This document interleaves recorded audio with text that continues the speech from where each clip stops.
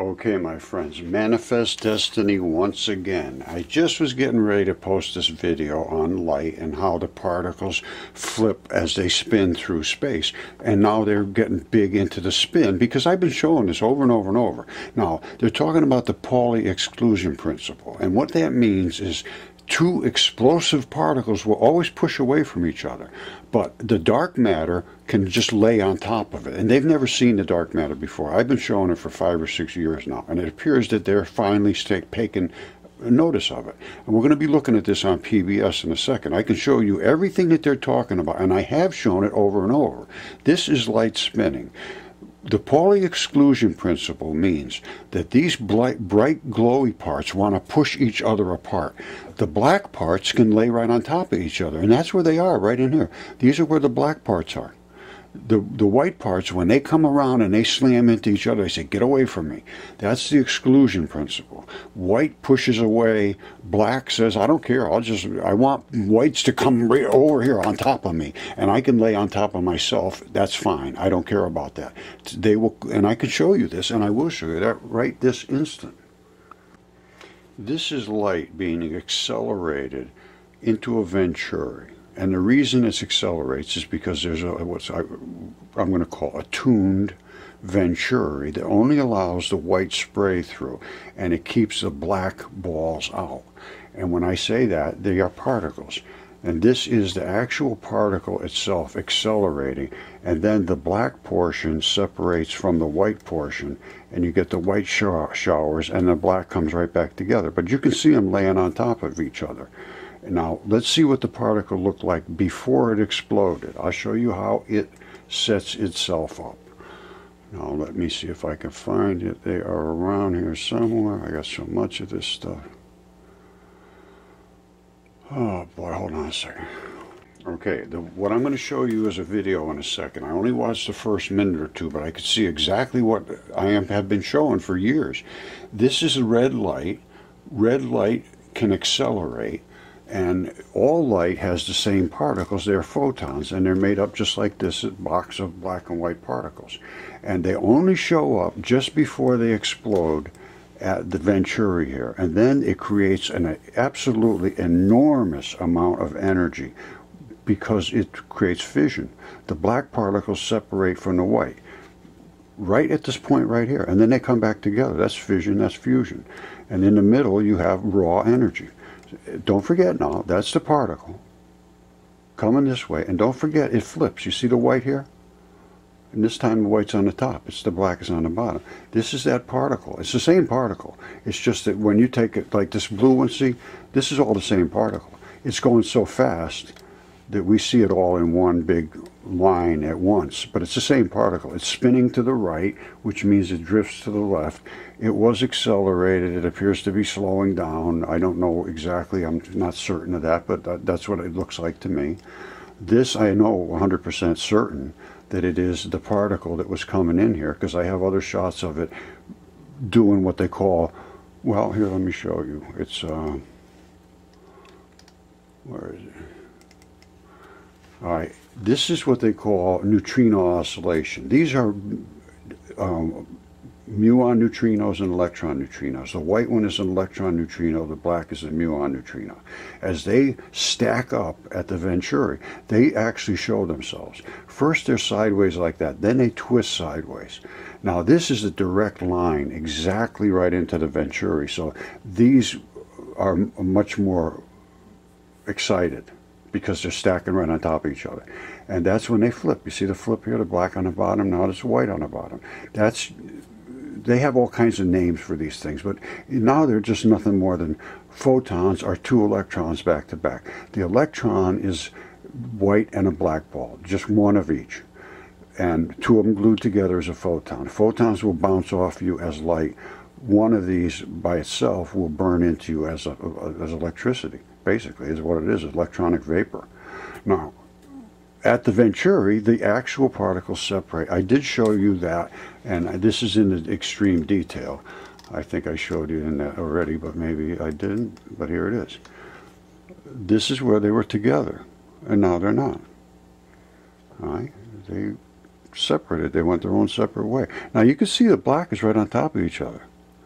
These whites will never, ever, ever, ever, ever allow that.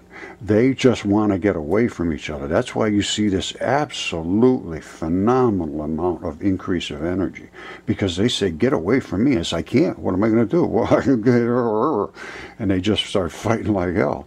The black ones, they just come around. Look, they land right on top of each other. There's one here, there's a whole batch of them laying. All they want to do is catch on to the white ones again. And then they become stable. They are unstable on their own. It's just the nature of the particle. It's a positive to a negative. You can't take a, a bar magnet and just take half of it and throw it away and it becomes negative. No, it, will become a positive and a negative. You break it and it's a, another positive and a negative. You break it again, it's another positive and a negative. You cannot separate the charges, although we did. Fission and fusion and the reason is because of the tuning of the Venturi. And there's a lot of other things we can do here, and then we can harvest energy right there and create portable, walking around electric energy in vast quantities for that much. Zero. Once again, just so you know, this is not just me talking. This is CERN. They want muon neutrinos, electron neutrinos, a black ball and a white ball. Highly accelerated is when they see them because they crash them. But using their 100 billion particles, and then they have no idea where they came from. We saw them as light. We saw them manifest themselves as a black and white ball attached to another black and white ball as a photon. Then we saw them separate as a black ball to muon, which can be right on top of itself. Yes, exactly, I agree, as we're going to see in this video. And the white showers turns into a white showers. And absolutely no question that that's exactly what we're seeing here. No question whatsoever. We know they were attached together as neutrinos. We know that they are now a muon its own separate way and electron showers. Of this, there is no question. Now, I'm almost certain I showed you this. I get lost in this because I do a ton of these. But this is the particle separating, and we can see the spin. That's exactly what you would see if you were a machinist looking at a drill bit spinning through there. This is a single slit, so it's not overlapping flaps. These are repulsion patterns, and the blacks fit right in between, which don't care. They can step, or jump right on top of each other. No problem whatsoever.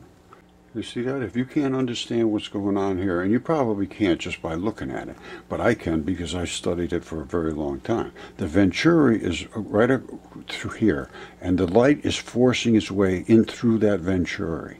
And when it does, you can see it actually is spinning. You see this? You can see him coming up around here spinning this way. The whole thing is spinning as a circle. The black is between the particle of the white. Remember we had the blacks and the whites? Well, that is the separation of powers. And the black will, will fit right in between these explosive particles. It'll just squish them like, well, you can see what's happening. It's quite obvious. And the more impact is the more white. This is, you, these are really the trailing edge of the light particles. And every one of them is a particle and they're going this way. Think about this very carefully. If the light was spinning, which it is, hold on. Let me get my little visual representation of what's going on here. So, Roger, what is going on? Well, this particle here is that particle there. And it's spinning through this way, up around, and smashing in up here it's smashing all the way around, but we're visualizing it from here. So we're seeing the impact of it from this. But if you were on the other side looking at it, you'd see the same thing. So what it's doing is it's coming up around and smashing in up at the top here, and which forces it to spin back around. That's what causes a spin.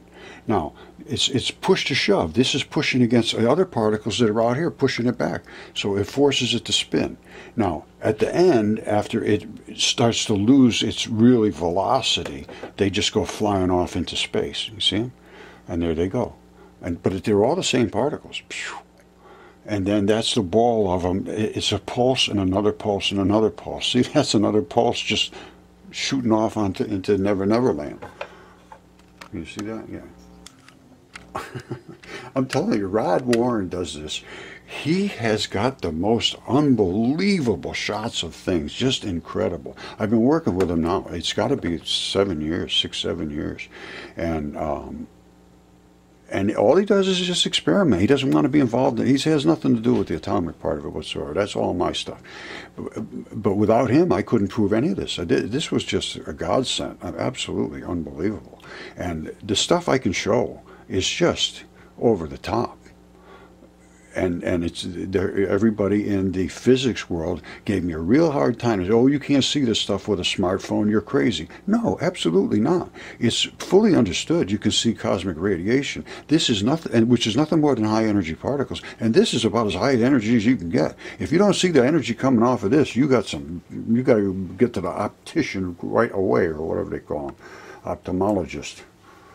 All right, this is what light looks like when it's just sort of spinning it through space coming at you, coming sideways. We're looking at it sideways. Now, what if we were looking from the front, looking at it? What would it look like then? Well, let's see. I do have a shot that shows it, and it's stunning. We're looking at light coming at us. This is the leading tip of the light. This is a tip. This is a tip. These are troughs behind it. So this is coming at us, spinning like crazy. You can see it spinning. They're all spinning. They're all spinning. You see them? And you can see two, four, six. You know, they're making all these patterns. There's another six pack here, another six pack here, another six pack here. Something's going on with that. The way they interact with each other. The sixes interact with the other six, with the other six, with the other six.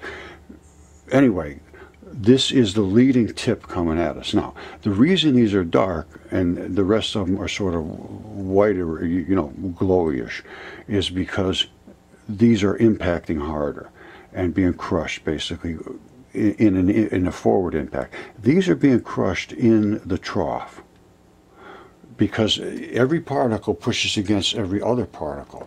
So they all have their own fields now. As they start to circle like this, they create a field around themselves called Higgs field. I'll show you those in a second. And those Higgs fields are what each one of them pushes away from each other. So you'll see them all in exactly certain patterns away from each other. Let's look at the Higgs fields, and I'll show you why every now and then you're going to get one similar to this that crushes and it can actually change its color state. All right, what I just showed you is exact. That is exactly these pictures. These are those fields that are coming at us, and the tips of them are, have the black spots on them, and the troughs are in between here. And occasionally something will pinch, and this is what happened. Pinch right here. Look at that. It pinched a, a field against a field, against a field, against a field coming this way. And instead of being red, which they were all red coming through, it's what they call a coherent frequency. That means they're all exactly the same frequency coming out of that crystal, which is the laser. So this is not the same frequency anymore. But it's coming back to the same frequency. You see, it's very interesting. This is a this is a very very unusual shot. Um, but that is a pinch that turned it blue which is the next step up of excitation. These are spinning, you know, sort of slow, the, the red. This is spinning fast. You see it coning way up. All right, here's another shot of Higgs fields coming out. That is the Venturi, and there, this little white sprays of stuff coming up here are the actual raw electrons. And then when they smash into the atmosphere out here and they hit other particles, they start to spin like crazy. Now this one here, this is the only time I've seen this, is a white particle, and I believe it interacted with another Higgs field and caused a very strange effect I'll show you in a second. However, my interpretation of this is instead of a right hand spin, which is what all particles are supposed to do, as they come out of here and they smash into space, first of all, we, this is only an electron. That's that's that's the white side only. When it hits the dark matter, it spins. It's supposed to spin to the right. It's just a rule. I didn't make it. it's just a rule. Now that one I think is spinning to the left. So it's actually drawn itself into itself. Like when it hits, when it hits, it's it's pulling the particle back in. When this goes, it's pushing the particles back out. So that's why I think it's drawn itself into itself, and that's what we're seeing here, a reverse spin. Could be wrong, but here's what I see when it hits one of these. I think this is what hit. Let's take a look at that. All right, so here's the Higgs fields coming through, and I believe that's the white particle, and I believe what happened here, because I can see some sort of a definition to it it has some pattern here going on with the white and the black, but I think it's like I say, I think it's a reverse spinner instead of a right spinner. It's a, a, a reverse spinner. And when it's smashed into this particle, or when its field, let's put it that way, interacted with this particle. And you can see it's right on top of the particle. So the field is almost like, I don't know exactly what happened, but this is the result. You know, this, no, no idea. Like that's a half a light field. I don't know. I have no clue whatsoever. But we're picking up these particles with smartphones. You could do this yourself. I've shown how to do this. Very, very, very simple to do. And everybody basically has this equipment in, right in their own house almost. Everybody's got smartphones now. All you need is a smartphone. But you got to put it right up next to where you're getting this extreme luminosity. And then you've got to muddle around with the pictures and know how to work with these apps and things. I don't know how to do this stuff. Rod does it. His nephew um, Dylan now is doing it. Dylan Carpenter, absolutely amazing, and Rod Warren, and you can see his, you can find his channel on YouTube. He's he's not like a, an atomic guy or anything. He's just an experimenter guy, and he's he shows stuff. He's like a one minute video. He's been doing a lot of them lately. Just crazy looking stuff. You, you, you, don't know what to make of it, and nobody does. But you can see that there's interaction, just astounding interactions. Um, and I can't account for them. These I can because I've studied him for seven years, six, seven years. And he was gracious and fabulous to work with me. And, um, and I think I've shown pretty good evidence to, to support my theory. And that's what I needed was to be able to support my theory, and I think I have quite well, atomic flood theory. All right, this is about the time I started with Rod was back around 2014, 2015, turned smartphone into pos po pocket cosmic ray detectors, astrophysics using a smartphone. Scientists develop app to turn smartphones into cosmic ray detectors, cosmic ray detector futurism, smartphones into cosmic ray detectors. This was not something that was unknown. And what is a cosmic ray? All a cosmic ray is is exactly what we're looking at. A cosmic ray with high energy protons, well, we're looking at photons that move through space at nearly the speed of light. Well, ours are moving through space at the speed of light. And that's what a cosmic ray is. But it's a high energy, high energy, high energy. And if you don't see high energy, you need to, to get some kind of bifocals. This is what we started with this is what we ended at the Venturi with. If that's not high energy, there is no high energy. that is just atomic explosion, and it literally is. We fission right here, and we fusion right there. All right, here's Rodney. He's taking his little laser, just like this, and he's shining it through these nails. And he, if you tune these correctly and you have you do this right, you can get the patterns I was showing before. But you, that's a little bit of work to do. He just threw this together so he could make a quick thing. So you people can look at this and do it your own self. Now watch what he's doing. All he's going to do is shine the light through the nail slit, and this is a single slit. And then on his back wall, it's going to show the interference pattern. Then he's going to spray stuff in the air to show the light coming through the air and how it makes interference patterns in the air just as well. Watch. Just a standard laser, just like this. Turns it on. Turns off the lights in the room. Alright, that's on the back wall. That was the interference patterns. This is a single slit now, so that's not flappy waves. Now here's what he's doing in the air. You see it? That's a spray of water in the air. What this thing is doing, light spins. All right, what you're seeing is a whole batch of spinning light coming. These are all spinning light patterns. And the main impact is because it's coming out of the venturi through the center. Now, you could do this at home. You could. A lot of people have little tiny lasers. You know, they're they're not expensive either, and all you need is a cell phone. Now, he apparently, oops, excuse me. I, the way I understand it, and I didn't do any of this stuff myself. I did it for a little bit, I, but I was not competent. Rodney's just the, the guy. He's the guy. Now, I believe the way he told me, he was just using his uh, selfie one, or I, I, don't know where even the selfie one is. It's on this side, pointing down at it, and and getting the um, pattern right right there because it's so energetic. And these are only CMOS, exact same thing they're using at at the, the Large Hadron Collider to see their stuff. It's no difference whatsoever. CMOS is CMOS. It's complementary oxide we used to call it silicates, but it's um, semiconductors. And they are different transition metals that can pick up different frequencies very, very, very elegantly.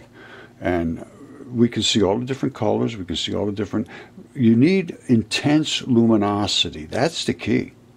Because they're using the cell phones 15 or, or uh, seven years ago, something like that, as cosmic ray detectors. They're nothing more than high energy particles. I'm sure I went over this four or five times, but I'm sorry. This is something that's too important to just fluff over.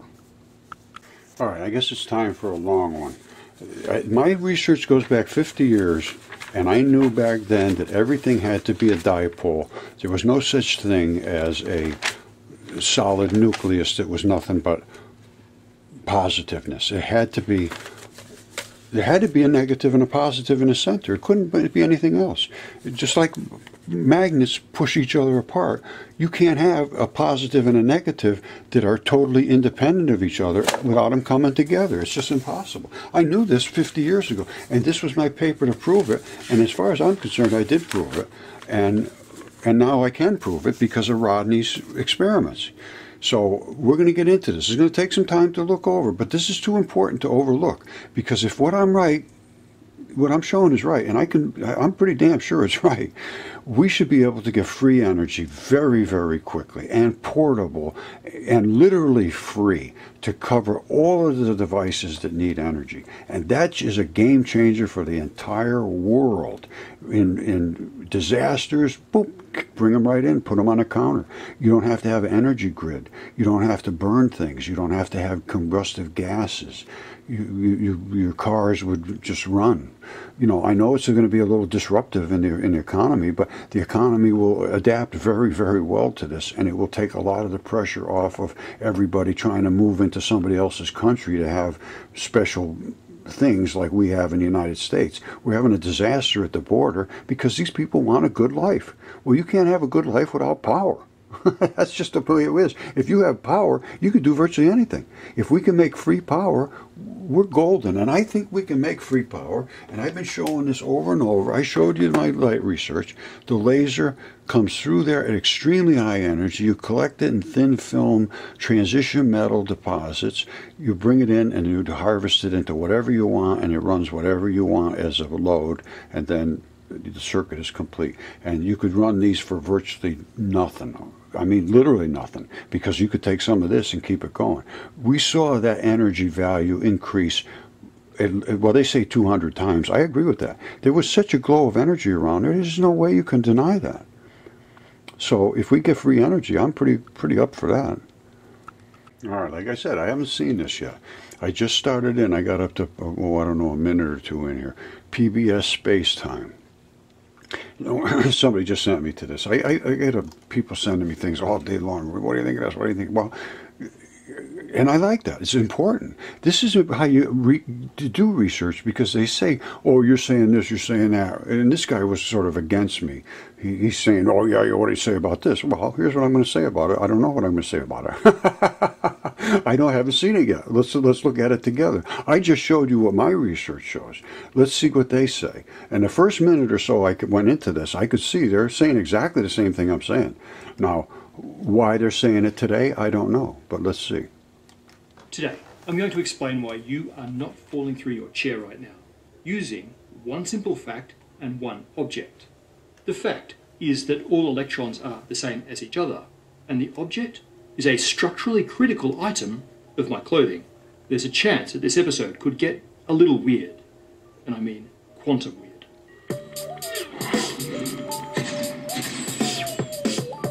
By now, we've established that quantum spin is very weird.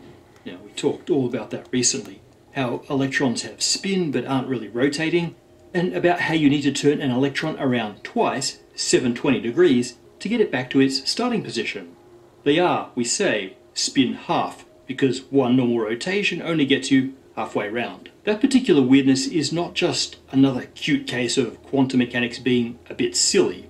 The fact that some particles have this property is the entire reason that stuff in our universe has structure and that matter doesn't immediately collapse. All right, I don't. I, I disagree with that. The reason that we have solid particles is because of that black ball wants nothing more than have it be encrusted with white around it. That's its whole mission in life is to attach to white stuff. Now, from what I'm hearing from him, he's going to go into the Pauli exclusion principle. This was about where I stopped before let's see what because I know about the Pauli exclusion principle. All that means is you can't have two things in the same place, and I always thought it was really silly. But it does have some effect because if you look up the Casimir effect, if you take two electron, eh, two, two of anything, and bring them close enough together, when they get really, really close, they push apart because there's going to be electrons on the surface of this one and electrons on the surface of that. They push each other apart because everything is coated with electrons. That's why we've never seen inside to see the dark matter until we crashed them into the Venturi. So he's going to be talking about the Pauli expansion principle and how particles can lay right on top of each other, which I showed you the black particles. And I'm going to show you every time he says something, I'm going to go to my evidence. So I know we've I've probably shown you this five times already, but I don't care. You're going to see it again. Is the source of the Pauli exclusion principle. And today I'm going to show you why this simple property makes it possible for us to have nice things in our universe. Particles with spin half, or more generally any half integer spin, 3 on 2, 5 on 2, etc., are called fermions and include all of the particles that we think of as matter, from electrons to quarks to the neutrinos. Okay, the fermions are the reactive part, the white ones.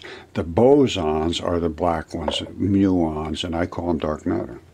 The other spin behavior is to have integer spin, Spin 1, for example, is the much more sensible case of a single 360 degree rotation getting you back to the starting point. Integer spin particles are bosons, and they are the force carrying particles like bosons are the black particles that I showed you. Photons with spin 1, or the Higgs particle with spin 0. It's possible to stack as many bosons on top of each other as you like. Exactly what I showed you. Those are the bosons, the black particles, and they surround the white ones. The white ones, boom, they say, stay away from me. For example, in a laser beam, there's no limit to the number of photons that you can add. All of them are in the same quantum state, but not fermions. No two fermions can share the same quantum state. That's all. These are repulsive. They stay away from each other, but they're still I, I, don't think these these are laying on top of each other. Yes, these have those those Higgs fields I showed you are the fields that they these particles create to say stay out of this region. This is my region. Basically, that's what a Higgs field is, and they they're created by fermions. Which is why electrons can't occupy the same energy states in atoms. Without this, electrons in multi-electron atoms would all fall into the same lowest energy state. What ha- what he's talking about there electron flood theory, totally different than Bohr theory. Bohr theory says that for every proton, which is one of these, like hydrogen would have one proton and one electron. I say no, absolutely not. It has 1,839 electrons and one more influence that wants to try to get into the dark matter in here, but they say no, we have enough electrons, you have to stay away. That creates the quantum state. So instead of having just one big gigantic proton, which it doesn't work at all anyway. Because you have isotopes, you have nuclear decay, you have neutrons and uh, turning into protons, and protons turning into neutrons, and you know it just doesn't work. And they know it doesn't work, but they have nothing other to work with other than the Bohr theory. Well, now you do. It's electron flood theory, which means every single particle there is, every single particle there is, is constructed of these smallest particles that I showed you before, the black and white balls. And we can actually separate the black and white balls, as I showed you. This is electron flood theory, and it solves 100% of every material interaction. If you can present any single thing to me that I can't solve with electron flood theory, I would love to see it, because I haven't found one single thing yet. The electron can separate from the muon. This is we've never seen anything but the white. That's the only thing that radiates back. A muon does not absorb, it does not emit, it does not concuss. It's strictly gravity. And that's what happens. It sucks in other white particles, and that's all it wants to do is be attracted to them. Now, that's electron flutter. That's it. Case is closed. 1839 electrons make a proton. And as you, they come in balls like this. All right, and so you add another 1839, and you're going to get a helium, hydrogen 2. It comes hydrogen 1, 2, and 3, and then you get into helium, which has more balls, and then you get bigger and bigger and bigger until you get a, you know, uranium, something, just a gigantic, huge, huge, gigantic snowball of particles like this that wants to fall apart. They can't, they can't stay to well, well together. And and it, then there's a lot to understand. You got to get into thermochemistry and you know there's a there's a ton of things to understand about the bits and pieces that are inside here but that's what I did that's what I love to do and that's what this whole thing was about. That's what this whole thing was about. You cannot have a nucleus that does not have have um, you know a positive and a negative. You can't have a nucleus that, that's a, just a big positive. It's absolutely insanity. It always was. So I guess we're just going to have to keep going and see what my little friend here has to say. Before we do, he says electrons in the multi-electron atoms would all fall into the same lowest energy state, which here's what really happens. The black particles don't care about being on top of each other, but the white particles want to stay away. So they end up pushing all the black ones the, the, they're black and a white, a black and a white, but the the black will go to the inside, and the white will go on the outside, and another white will go on the outside, and white, white, white, white, and all the blacks will, will congregate in the center. So this would be a completely encrusted ball like this, and all of the outside particles would be the white particles, and inside you wouldn't see it, but all the black particles would be inside, all congratulate all on top of each other. That's gravity. That's basically gravity. So that's what we're seeing. It accounts for gravity. It accounts for dark matter, which is the muon. It accounts for, we can see them separate. It accounts for the wobble and the spin and the neutrinos and the neutrino showers and the muons and the bosons and everything else. So let's see what they have to say. But this is the entire thing. That's the new model. You know, I did all the doodles. I could do all doodles all day long. I knew I could write all these little symbols and things. And they, they were absolutely meaningless. They were designed, and constants and this and that were designed to cover up problems because there's problems. They couldn't. Count, you can't account for gravity. Fermilab, Don Lincoln, who was a he's a big shot down at Fermilab, he doesn't even know electrons are. I mean, light is a particle. He thinks light is a wave. There's no particles. That's what he told me. If I'm wrong, Don, tell me I'm wrong, buddy. I want to debate you, my friend, because I, as far as I'm concerned, you guys are wasting a hell of a lot of money walking around in circles. And not to talk to me after the evidence that I provided is is uh, is not correct at all, not acceptable. Okay, so they're not going to fall in on themselves according to the electron flood theory. All atoms would be the minimum possible size, and there would be no such thing as chemistry, no nice things like solids or molecules. The non-overlappability of fermions is called the Pauli exclusion principle.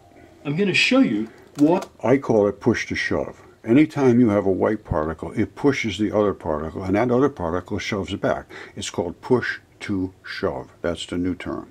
This is inevitable behavior of groups of particles that have two properties.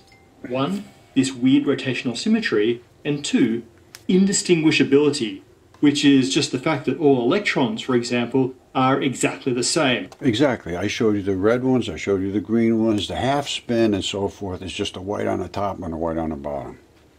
There is no observable change when you swap two electrons. Combining spin behavior and indistinguishability gives us something called the spin statistics theorem, which sounds complicated, but I'm going to derive it with just some basic arithmetic and my belt.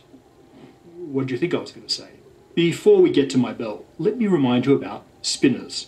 We talked about them in a recent episode, but for now, just know that it's just the type of wave function that fermions have, and that it has this property that it returns to its starting state with a 720 degree rotation, not 360. In that previous episode, we saw this amazing animation of an object rotating while being fixed by bands to its surrounding environment. Th- those are nothing more than than um, magnetic flux lines. If it's spinning, the magnetic flux, and it's bashing into other particles that are in front of it, they're pushing their magnetic fields against these magnetic fields, so you end up with these these flux lines flowing away. Just, I mean, it's just obvious. It's just anyway. Crazily, the bands disentangle every 720 degrees. So, a spinor's rotational weirdness is not necessarily all that quantum, it's a natural function of how it's connected to the universe. So, allow me to introduce you to the belt trick, first conceived by Paul Dirac himself. It goes like this Hold the ends of the belt in each hand so the belt is flat. Let's think of the belt buckle as a particle, say an electron, and the belt is its connection to whatever, the universe or maybe to another electron. Now, rotate the electron a full 720 degrees so you have a double twist. Now, I'm going to untwist it without rotating either end of the belt. Watch. Now, at this point, I'm letting go of the buckle, but the important thing is that the orientation of the belt ends don't change with respect to each other. And there you go, the twists are gone. So, the system under these sorts of rotations is a spinor because a 720 degree twist is topologically equivalent to no twist. Simple translation of the ends transforms between the states. On the other hand, if we rotate one end 360 degrees, we can't untangle the belt if we keep the ends fixed. We can think of both ends of the belt as spinor particles, like electrons. And in that case, we can do another experiment. What happens if the ends exchange positions? If we're careful not to rotate either end with respect to each other, then the belt ends up with a single twist in it, equivalent to a 360 degree rotation of one end. So it seems that for spinors, a 360 degree rotation is equivalent to the particles switching places. This is slightly worrying. If we're using our hands as analogies for electrons, then we just demonstrated that it makes a difference if we switch their locations. And that's a problem if electrons are supposed to be indistinguishable, which is one of the critical ingredients of the spin statistics theorem. We'll come back to how electrons can have this property and yet still be indistinguishable. Okay. All right, let's just talk about what property he's talking about. He's talking about spin. I'll show you the spin that happens to him. I'm not sure this is what he means, but this is what I can see for spin. These are photons, which are nothing more than back-to-back electrons. As they come in at high speed and stack up against themselves, instead of being flat, they twist sideways. This is called neutrino oscillation. And then they come into a box state. And the only reason this one's boxed up here is because it's exactly straight into the venturi. The rest of them turn, they go flat and then they turn sideways, even way up here, because they're not uh, right in a direct line of sight. Now, this is the same particle. This is the same ray of light but it's we're seeing it in two spots at the same time because it's traveling so fast. We're one shot and we're picking up the same particle. And it was probably that same particle here too. And as it concusses, it gets brighter and brighter, and then it explodes at the Venturi. Now, that's we're seeing these twists, and you know they call this all kind of weird and neutrino oscillations, and they really don't know what to make of this because they don't understand the Venturi, and nobody understands electron flood theory. That every electron has a muon attached to it. That's what it is.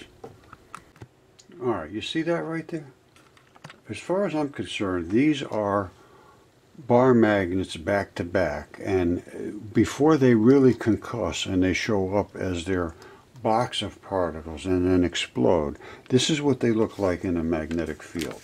That right there is two bar magnets back to back which is a light particle. Now watch what it looks like. Let me come up a little bit if I can. Watch what it looks like when I put this on top. You see the dark around the white stripe in the middle